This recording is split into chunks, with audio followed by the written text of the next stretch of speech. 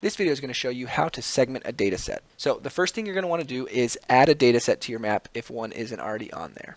So since I already have one, I'm just going to come over here to the drop down menu, click on that, and then select segment. So here in the light box, I see a button to either add a new segment tier, or if I currently were using segments, they would appear right here. So since I don't, I'm going to click on the add segment tier button. One of them being qualitative, which is going to pull unique values from my columns, or I can do quantitative, which are a little bit more custom. Uh, I'm going to show you how to do each of those here in this demo. So I'm going to do qualitative first. So here you'll see a drop down that is going to show me all of the columns that I have available in my spreadsheet. So I can look through there and I can choose any which one I'd like. So I'm going to choose the division. So I'll click on that. And then if I want to, I can show a pin count next to each segment. I don't want to do that, and so I'll just click OK.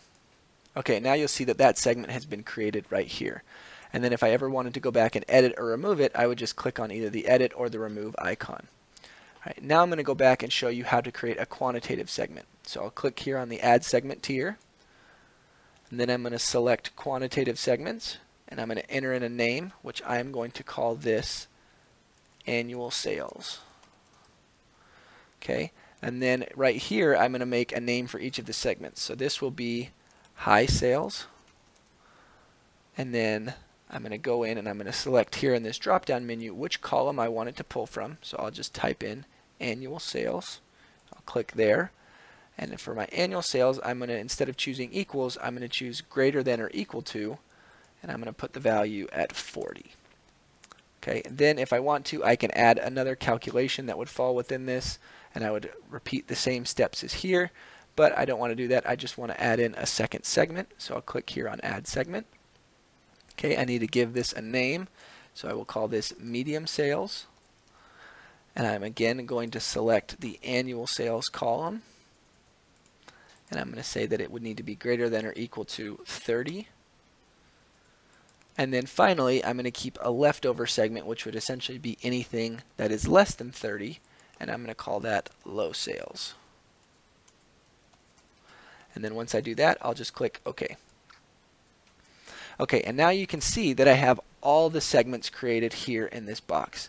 Now you'll notice a new icon which is appearing which is the up and the down arrows which is essentially going to change how this would be ordered. So in this instance I want all the pins broken out into divisions and then within those divisions to see the breakdown of sales.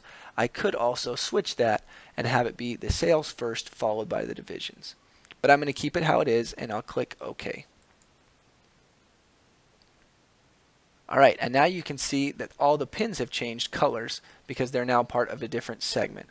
So in order to see those segments, I'm going to click here on this drop-down menu, and then I'll be able to see the northern, the southern, and the western. So let's zoom in here on the western.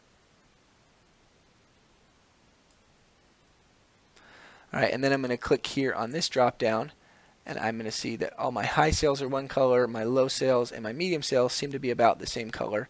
So let's go in and change that. We'll click here on this button, and we'll make that green, and then we'll click OK. Alright, there we go. So now we can easily see what are our western low sales by finding the green pins. The high sales would be blue, medium, red, and this would be the same process for the southern and northern segments as well. And that's how easy it is to create segments of your data sets using MapLine.